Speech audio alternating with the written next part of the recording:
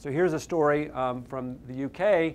First measles death for 14 years in the UK. Uh, unfortunately, um, this is from uh, two years ago in 2006, two and a half years ago in early 2006, um, that this, this 13-year-old boy died from the measles, because that does happen sometimes, and he had not been vaccinated. Um, here's a story from this year. Measles cases on increase in the U.S., and you could find many stories like this um, over the past few months. This year, so far, it looks like measles rates are about quadruple what they were last year. And these, these measles cases are almost entirely among unvaccinated children. So we have diseases that we had under control uh, that we no longer, we may no longer have them under control, and all because many parents think that autism is being caused by these vaccines, so they're withholding vaccines. So let me, let me just address one more question which I haven't addressed. Is there an autism epidemic? There has in fact been a dramatic rise in the rates of autism diagnosis over the past 15 or 20 years. Um, so this, this study looked at that question. Um, so rates of, and they acknowledge rates of diagnosis of autism have risen since 1980, raising the question of whether some children who pre previously had other diagnoses are now being diagnosed with autism.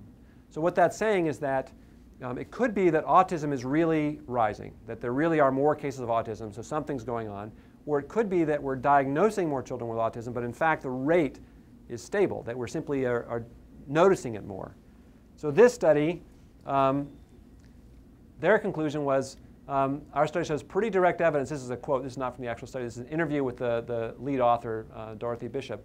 Pretty direct evidence to support the theory that changes in diagnosis may contribute towards the rise in autism.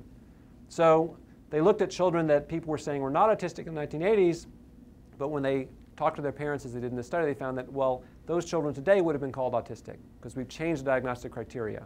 So in, in the late 1980s, early 1990s, the diagnostic criteria for autism were dramatically expanded. And that's one of the main reasons why the rates have been rising. So the historical rate of autism is about 4 per 10,000, historical being 1970s, 1980s. I remember it was first called autism uh, around 19, uh, 1940. Um, so the word wasn't even used before that. More recent estimates are, are about quadruple that rate, 15 to 20 per 10,000. Um, so i am going to now show you quickly three large studies that show that this change is not due to a raise, uh, to uh, rising uh, rates of autism, but to increasing numbers of increasing the diagnosis of autism. So here's one study, um, vaccines and the changing epidemiology of autism, and this study concluded that the increase in autism diagnoses reflects greater recognition of the disease, broadening of diagnostic criteria, a greater willingness by parents to accept the label, and better recording systems. There's probably been no real increase in the incidence of autism.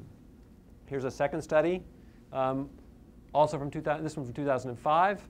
Um, this study concluded that the main explanation for this rise, that is in autism diagnosis rates, is to be found in better ascertainment and broadening of the diagnostic concept. And here's a third study, um, from, also from 2005. And this study found uh, the rates of autism, the rate of autism and related disorders in this study is comparable to that in previous birth cohorts, suggesting a stable incidence uh, rate of autism. That is, that suggesting that the rate of autism is the same now as it was, in this case, 10 or 12 years earlier. So, what does science tell us today? Well, when you look at, I don't have, I'm not going to show you more of the scientific articles about what, uh, what causes autism, but there have been a number of studies that show that it's, it's largely genetic. There have been um, quite a few different genes now implicated in autism, but there's no one gene in, that, that causes autism. At least we haven't found such a gene. It's very unlikely that there is one gene that causes autism. And as I said before, it's a range of disorders. It might be that different genes cause different severities, uh, uh, different types of disease that we call autism. Uh, identical twin studies show convincingly though, that there's a major genetic factor. If, you, if, you have, if you're autistic and you have an identical twin, that twin has about a 90% chance of also being autistic. If you have a fraternal twin, then the chances are, are much lower, around 10 or 20%. Uh, as I just said, multiple genes are involved and it's a range of disorders. There's no environmental cause yet identified. All these other theories that I've been discussing today are environmental causes. Environmental being anything other than genetic, anything you're, you're exposed to in your environment after you're born. One of the studies that I was just showing you says that postnatal causes are, are unlikely. Um, but meanwhile, vaccines are under attack. Uh, so unfortunately, this controversy will not go away as long as patient groups aided by quack doctors and the media continue to promote it. Um, and activist groups are continuing to attack vaccines. I'll show you one more example, one final example. Um, there's lawyers that are now making thimerosal litigation a specialty. There are lawyers who are preparing uh, for um, a big payday, just the way they've had big paydays with, say, tobacco.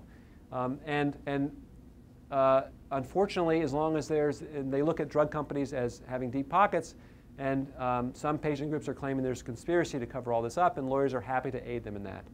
Um, Generation Rescue, which is led by Jenny McCarthy and funded by the, a wealthy anti-vaccine zealot, repeatedly takes out full-page ads in major newspapers attacking vaccines. And unfortunately, scientists don't, don't have the resources to do this. And NIH doesn't, have, doesn't uh, do things like this. So here's an ad. This is an ad uh, that Generation Rescue ran in USA Today, a full-page ad. They ran in USA Today earlier this year. Um, and if you look at it, are we poisoning our kids in the name of protecting their health? Where they show these are the small number of vaccines we had um, 20 years ago, and look at all the vaccines we're giving to our kids today, and look at how their autism rate is rising. If you zoom in a little bit, um, I know it's hard to read that. So if you zoom in a little bit on some of the text, mercury, aluminum, formaldehyde, ether, antifreeze, not exactly what you'd expect or want to find in your child's vaccinations. And by the way, that's not what you'll find in your child's vaccinations, but that's what they're saying you'll find in your child's vaccinations. Um, and they also say vaccines are supposed to safeguard their health, yet according to our studies can also do harm to, some children. Well, according to their studies, I don't know what those studies are, but they're not appearing in in reputable peer-reviewed scientific journals because reputable peer-reviewed scientific articles are showing there's no link between vaccines and any of these uh, diseases that they're claiming, and, and, autism or other diseases. And they have other things too about how uh, the vaccine rate, the number of vaccines has gone up and autism has gone up. Just a coincidence? We don't think so. Well, it is just a coincidence. And as I just showed you, studies are showing that the rise in rates of autism is caused by a broadening of the diagnostic criteria. The reason that we have more vaccines for our children is because we've been able to come up with vaccines and control these diseases that were harming our children. So of course we're giving them more vaccines, but it's unrelated to the fact that autism rates are rising. So where are we today? So uh, Wakefield's original study 10 years ago looked at just 12 handpicked patients. Um, later studies involving over a million children collectively have shown MMR vaccine does not cause autism. They've shown that thimerosal does not cause autism. Um, they've also shown there's no autism epidemic. But despite that, all of these, all three of these, um, all three of these hypotheses are still circulating widely in the media and widely among some parent groups. So what can we do? What can people like you do? Or what can I do? Uh, we can do the best we can to educate other people, each other and people we come in contact with to try to counter the misinformation.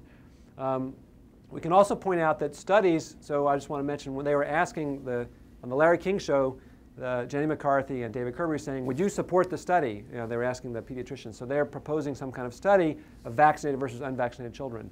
So you should point out that studies like that have already been done. And if you put more money into studies like that, you're going to find the same thing again. That money is taken away from other studies that would really perhaps do some good in terms of helping us understand what's really causing autism.